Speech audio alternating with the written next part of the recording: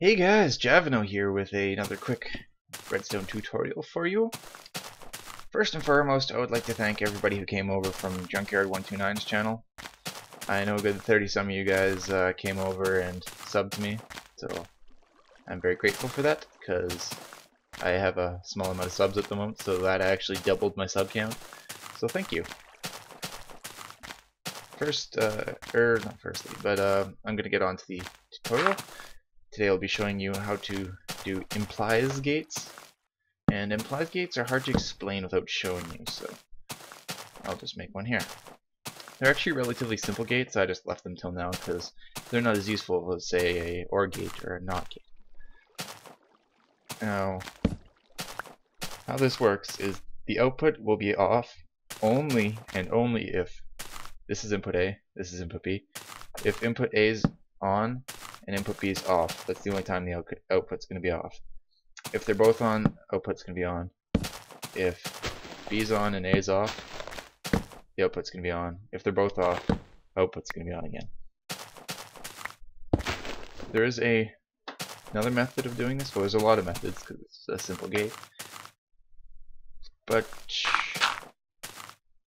I find this is the second best option. I, I like that one the most just because it's really simple.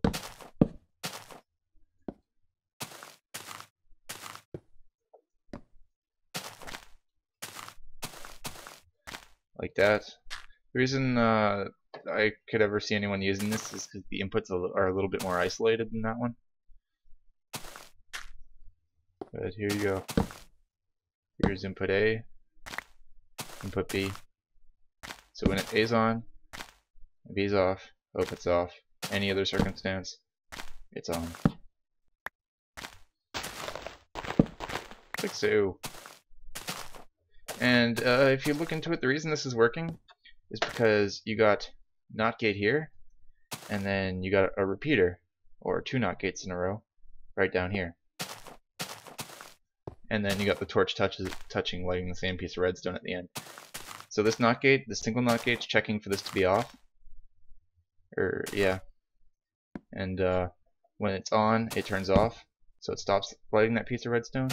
And this repeater is checking for this to be off which turns this on which turns that off which stops lighting the piece of redstone. And if you if neither of them are happy then the redstone will be on. The only circumstance I've really found to use this is I built my friend a uh, 10 torch combination vault so uh, just put torches in a line, and they had to be the right ones had to be on, the right ones had to be off.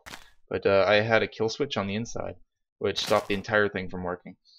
And how that would work is you have your regular regular circuitry going through the uh, B gate here, and it's working fine.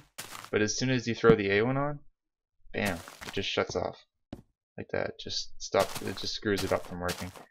And then when you do that, it's working again. So if you use this as a torch or a switch rather, you can just uh, have a kill switch.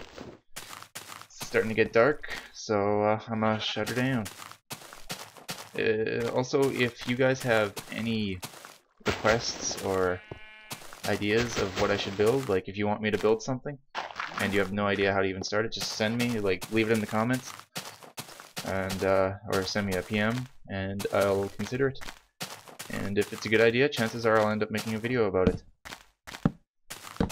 So, uh, yeah, definitely don't hesitate, because I would love to help you guys. But uh, for now, see yous.